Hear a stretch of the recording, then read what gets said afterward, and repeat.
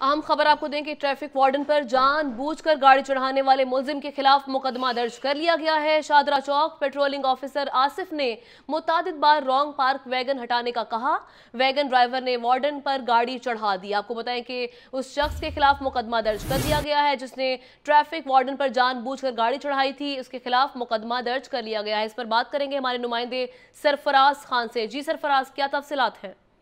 जी, बिल्कुल, traffic warden पर जो है वो गाड़ी चढ़ाने का मामला जो है वो आज पुलिस की जानब से मुकदमा दर्ज कर लिया गया है।